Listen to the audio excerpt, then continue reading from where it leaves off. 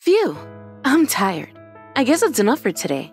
My name is Asami Sato. I'm a freelance scriptwriter, and I'm 25 years old. I work from home, so I spend most of my time indoors writing. Oh, great. I completely lost track of time. Yuji's going to be home soon, and I've got to make dinner. My husband Yuji is one year older than I am and is currently working as the president of an apparel company. We got married three years ago, and we were a happy couple for a while. But now, our relationship has frozen over, and we don't get along too well. I'm home.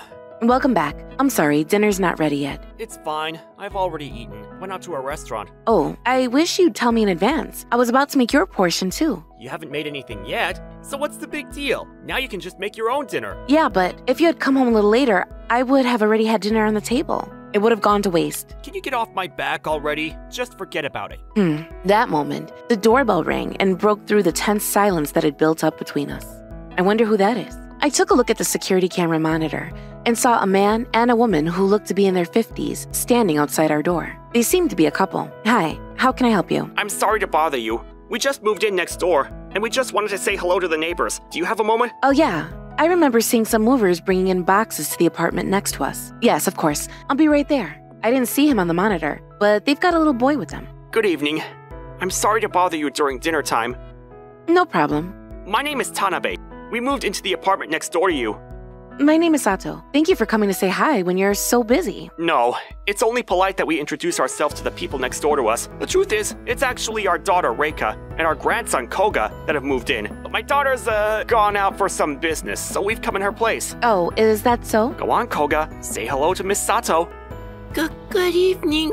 I'll make sure that my daughter comes to say hello when she can. I hope that you'll be able to get along with her and Koga. Thank you for your time. Thank you. I accepted the sweets they had brought as a present and closed the door. Look at these cookies. They look delicious. Cookies? I wish they would have brought something savory instead. I don't like sweet stuff. You shouldn't complain about the presents that people have brought. It was nice of them to even give us anything. So what if I complain? They're not here right now, and I'm not going to go around shouting it from the rooftops. Yeah, well, our new next door neighbors are a lady called Rika and her son Koga. They didn't mention the dad's name, so she might be a single mother. Oh yeah? Hmm. That's all Yuji and I said to each other that evening. If the neighbors hadn't come to visit and given us something to talk about, then we probably wouldn't have talked to each other at all. Ugh, it's been three years since we got married. I guess this is what it means to be in a stale relationship. It feels pretty lonely to not be able to talk and laugh with him like we used to. The next day, after finishing my quota for the day, I went to the supermarket in order to buy ingredients for that evening's dinner and dessert. I was about to enter the apartment lobby when I bumped into a woman who was holding Koga by the hand. On first look, I could tell that this was probably his mother, Rika. Hello, Miss Sato. Good evening, Koga. Who are you? It's nice to meet you. My name is Sato. I'm living in the apartment next door to you. Oh, yeah. I heard about you from my daddy. Nice to meet you. I'm Rika. Yeah. Rika was pretty tall, and because of the way she wore clothes to accentuate her assets, I could see that she had the body of a model. Not only that, she was a beautiful woman. What are you looking at? Oh, uh, I just, you're a really beautiful woman. And I ended up staring. Sorry. Oh, really? Thanks. I get that a lot. She's pretty, but she might have a problem with her personality. I was a little irritated by her response, but I could imagine why she was so confident. If she was that beautiful, then she could probably get away with a lot of things with just a bat of her eyelashes. It was a moment that made me realize that the world really was unequal after all, and I felt it painfully. Asami, what are you doing out here? Hurry up and go inside already! Oh, Yuji, welcome home. I just bumped into our new neighbor and wanted to introduce myself. What, the one you were talking about yesterday? Oh, hi. It's lovely to meet you. I just moved into the apartment next door to yours yesterday. My name is Reika Tanabe. Yeah, hi. Wow, she's really pretty. It's nice to meet you too. My name is Yuji Sato. Oh my god. Why didn't you say that your husband was this handsome? You look like you could be a model. Thanks. It's a great compliment to hear that from someone as beautiful as you, Miss Tanabe. I'm kind of embarrassed. Huh? Her attitude is completely different to when she was talking to me. Did she start acting nice because Yuji's good looking? I'm his wife, so you might think that I'm biased, but Yuji really is as handsome as Rika says he is. He's tall, lean, and actually does model for this clothing company produces. You could say he's a full time company president and part time model. If I were to put it in a negative way, he's a narcissist. Oh, yeah. Asami, you still haven't made dinner if you've just come back from shopping, right? Yeah, why? Then why don't we invite Reika over to have dinner? She's a single mother, so it must be tough having to do everything by herself. Really? You do that? Thank you so much. I'd love to eat at your place. What? But I've only bought enough for the both of us. Then you can go back to the supermarket and buy some more. It's not that far. Well, yeah, but Yuji was right. The supermarket I usually go to is just a short walk away. And it wouldn't be that much trouble to go back, but it annoyed me that Yuji was trying to act like the good guy in front of such a beautiful woman like Rika. He wouldn't take his eyes off her, even though I was right next to him. Go on, hurry up and go shopping. Fine.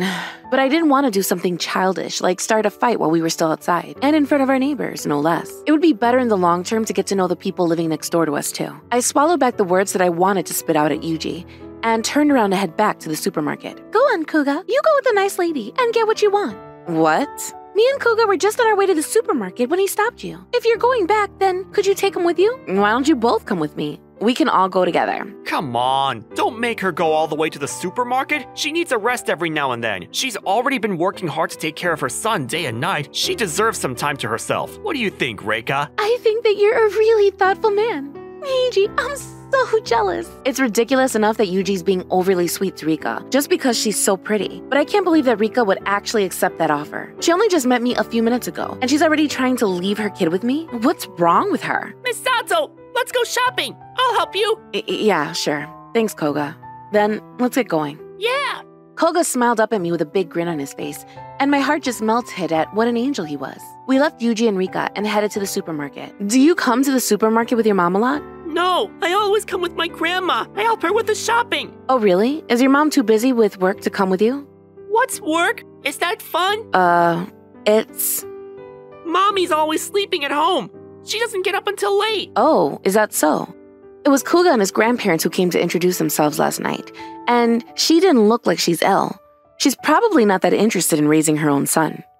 I don't know anything about her, and I don't intend on being friends with her, but the way she was flirting with Yuji really pisses me off. I bought the extra ingredients and bought Koga some chocolate as a treat for helping me before we headed out of the supermarket and walked back home.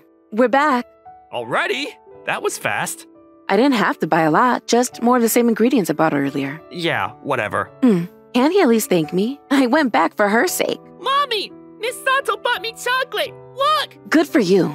Thanks so much, Yuji. You're so kind. It's the least we can do.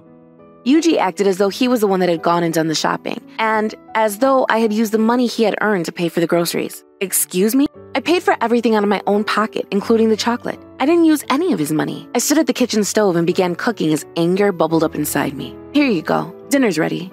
You made meat stew? If you don't like it, then don't eat it. I'm not forcing you. What? Don't say that. You're so scary, Asami. Right? Can't you take a leaf out of Reika's book and be a little less intimidating, Asami? Sorry about that. I was born with this face. You know what? I've never made meat stew before. I've always thought that it's for old people. You only ever see grandmas making stew and stuff. That's so true.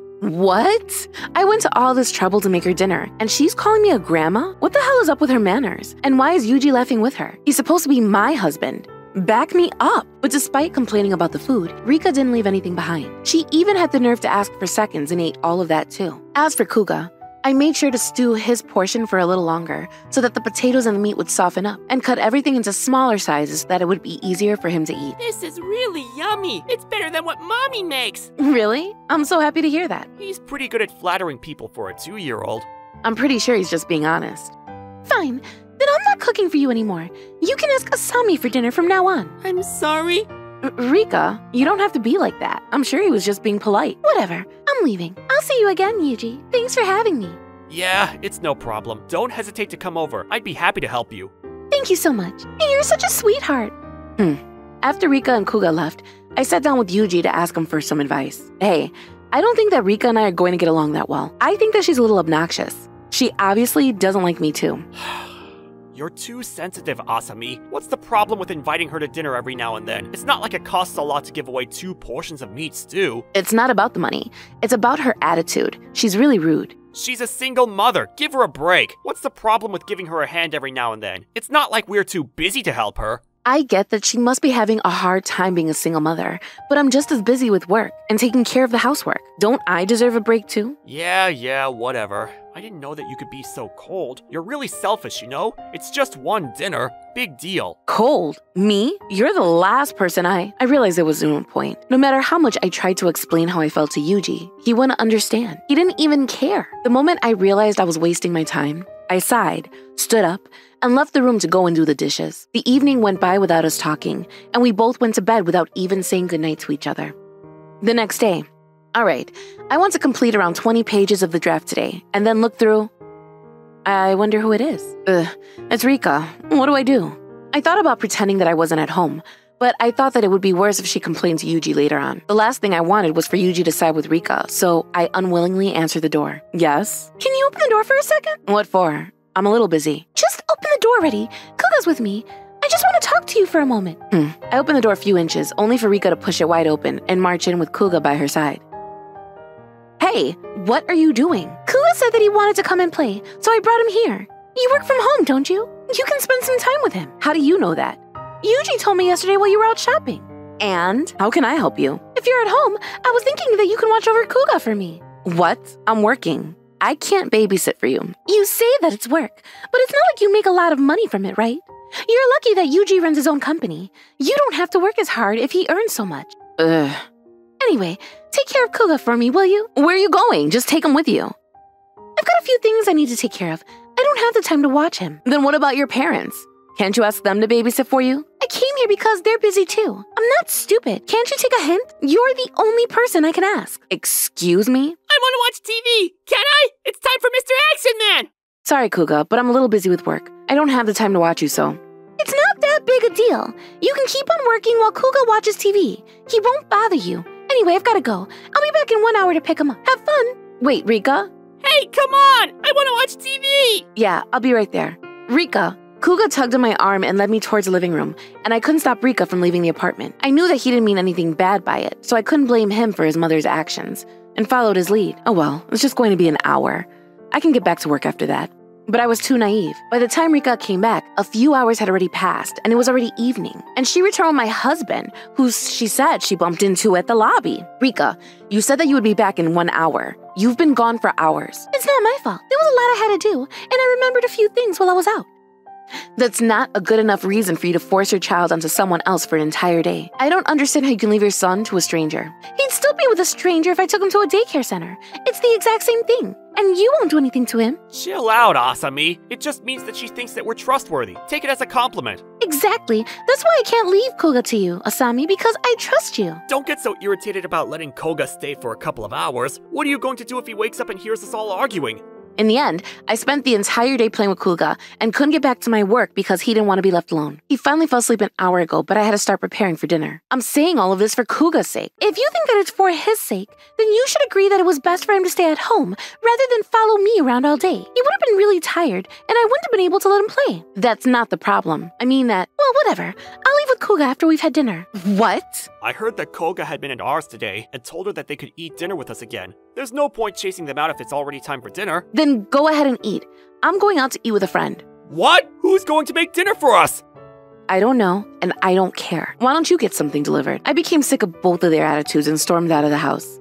I wondered why you called me to have drinks so suddenly. But is that it? Don't you think that's a little mean? Am I being petty? I was so annoyed by Yuji that I called my friend Fushiko and asked her to join me for a drink at the closest bar. Fushiko's a web designer, and we became friends through a certain job we did together a few years ago. We've become close enough that we talk to each other about everything. It's pretty simple. Your husband's a douchebag.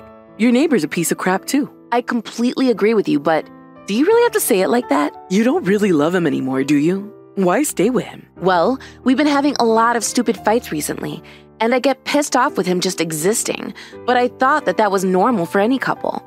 I thought that it was just a phase. I guess some couples might go through a period like that, but usually they'd work through it together. I don't think a normal husband would act the way your husband is now. Yeah, that's true. Well, it's only been two days since she moved in. We still don't know if he's actually cheating on you. Yeah, I guess. But just imagining that this could go on for much longer makes me feel sick. I can't take it. Don't think about it now. You can deal with that when it happens. Go on, take a drink. What is it? It smells really bad. I ordered a cocktail that would make you feel better. Drink up. Wait, wait. Tell me what's inside first. Sardines, turtle, energy drinks, eggs, and Oh, yeah, there's. Do you really expect me to drink that? No way. Is that really a drink that the bar made? Can they have that on the menu? This bar makes any drink you want if you tell them what you want to put in it. Oh, hey, why don't we get them to make a drink that will punish your husband? We can deliver him to death's door. Stop it. You're freaking me out. Fushiko listened to me complain until dawn, and I barely managed to walk back home because of how tired and drunk I was. I got home well after the sun had risen and entered the apartment to find that, of course, Rika and Kuga were gone, but that Yuji was also gone too. That's really strange. It's still too early for him to leave for work. Where is he? I took a shower and took a seat on the couch in the living room when Yuji finally came in through the front door. Welcome back. Where were you? That's my line. Why didn't you come back until this morning? I messaged to let you know that I was with Fushiko last night. I left the house pretty upset, but after meeting up with Fushiko, I felt a little guilty for leaving so suddenly and messaged Yuji to tell him I was with Fushiko. I felt that it was the least I had to do to make sure he didn't worry about where I was. Either way, he didn't reply to me. Really? With Fushiko? You expect me to just trust the message you sent? What? What about you? You came home later than I did. I I went to take out the trash. It's not like I went anywhere. It took you 20 minutes to throw out the trash, and you've never helped me with the trash before. Why now? I just dropped by the convenience store after I threw it out. Then where's the stuff you bought?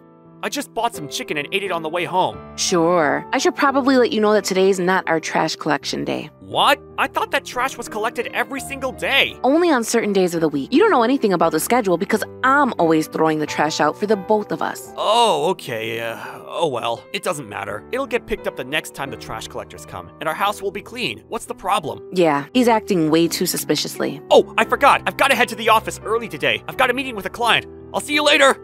Yeah, see you. I went to the bedroom and rolled into bed.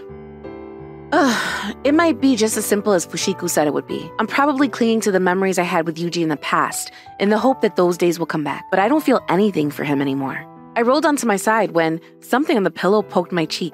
Ow, what is this? An earring? I sat up in bed to look at what had hit my cheek when I found an earring in the shape of a heart fallen on the pillow. Neither Yuji or I had our ears pierced, and I didn't even use clip on earrings. Wait a minute, this is the earring that Rika was wearing last night. It's hers. One of Rika's earrings was left in the bed, and Yuji went to throw something out. I thought he had been lying about throwing out the trash, but if it was true, then any adult should understand what he was trying to hide. I had been cheated on. I knew it. They must have slept together last night. I threw the earring into a small plastic bag and hid it in one of my desk drawers, where Yuji wouldn't go looking for it. I'll think about it after I've had some rest. After the discovery, my feelings for Yuji had completely disappeared, but I wasn't going to just accept reality and go down without a fight. When I woke up, it was already midday, and my drunk haze had already worn off. Oh, I better make lunch. Hmm? It's from Fushiko. I wonder what it is. Heaven or hell? Which do you prefer? Pick one. What kind of question is that? Well, depending on the person, they might actually be the same thing. What might be heaven for me might be hell for you. Then don't ask. so, what do you really want to say? Take a look at this photo. Huh? This is.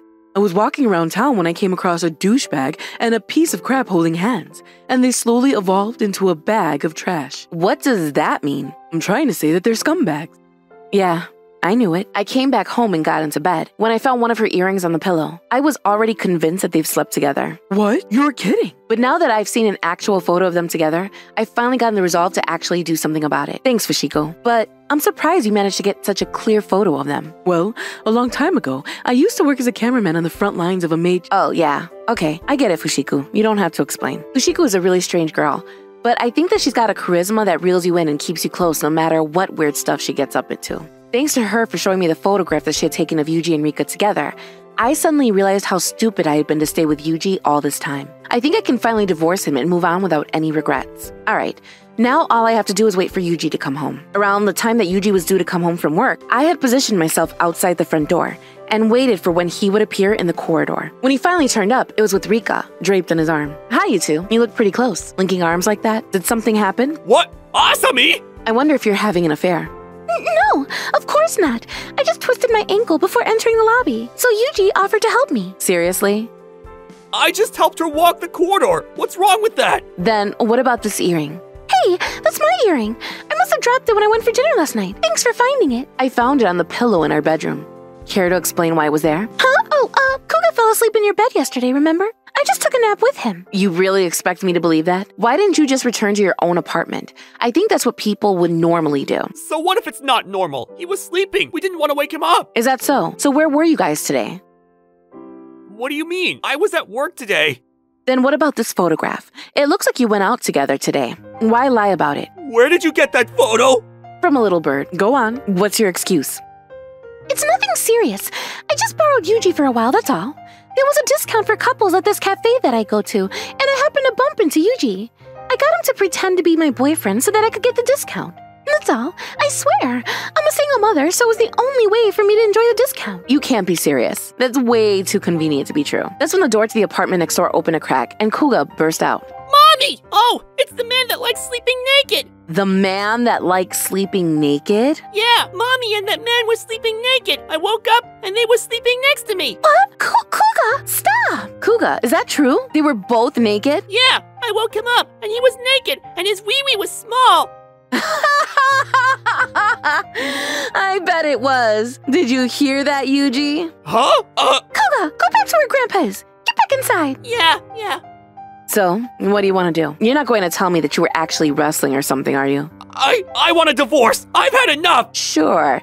Then I hope that you're very happy together. I'll pack my things. What? Did you think that I would beg you not to leave me? That I would end up in tears and ask for you to forgive me? As if. I'd rather die than have to live with you for one more day. That was easier than I expected it would be. We should have just demanded a divorce in the beginning, and we wouldn't have had to hide behind her back. Isn't this great, Yuji? I'm going to demand compensation as well, so keep that in mind. That's not going to be a problem. Yuji's the CEO of his own company. You can ask for whatever you want. You should be more worried about paying the bills next month. You're just a failed scriptwriter that earns less than the minimum wage. It sounds like Yuji hasn't told you anything about his company. He may run his own business, but he's in a lot of debt. What? He's just a CEO in name, too. He doesn't have any employees or anything. He's the only one working at his company, and I'm the one that's paying for all of the bills and groceries right now. What? You're lying. Yuji, tell me she's lying. It's all true. What? You can't be serious. I'm not working. I thought that you could afford everything. What? So you were leeching off of your parents the entire time? Even though you've got a son and you call yourself an adult, you've got to be joking. Oh, wait. I've changed my mind. I don't want Yuji anymore. You can have him back. I'm sorry for sleeping with him, so please, don't make me pay compensation anymore. You must be pretty stupid if you think that's going to work. It doesn't matter whether you end up together or not. What's done is done. You had an affair, so I'm going to demand compensation. That's that. What? You're just after our money. Don't you realize how pathetic that is? You're no different from me. You don't earn a lot with that freelance job of yours. Excuse me? I may not be rich, but I earn enough to take care of myself. I wrote the script for a TV drama that's been broadcast across the country. I just didn't tell you because I thought that it would affect your self esteem, or that you might rely on me for more money. What? That's not fair. You're a liar. I never lied to you. We just haven't been talking for the past few months, so I never had the chance to tell you. Anyway, that's it. I'll be in touch. What? This has nothing to do with me. I'm not paying anything. I think it's too late. Your father's been watching us for a while now. What? Reika, how could you? Get inside and bring that man with you. I've got words for the both of you. Daddy! Quiet! Mrs. Sato, I'm really sorry for the trouble my daughter has caused you. I'll make sure that she gets back to you about the compensation. Like that, Rika and Yuji ended up having to take a lecture from Rika's father, and I received the compensation I demanded without any problems. It was a shame that it wasn't a lot. As for Kuga, it was decided that he would be brought up by his grandparents instead, and his mother was barred from having contact with him. I'd feel bad for him if he had to stay with a mother that wasn't interested in raising him properly. There's no knowing how he might turn out. It was just three days, but I feel like I've had enough drama for a lifetime. I think it's pretty amazing that it's all sorted out in such a short time. You're right. I could probably use this as a storyline for my next script. Yeah, that's a great idea. Then you can cast me as the detective that investigates the affair. I'll think about it. Just two years later, the drama based on my new script was a big hit. I guess that means that I've got one thing to thank Yuji and Rika for.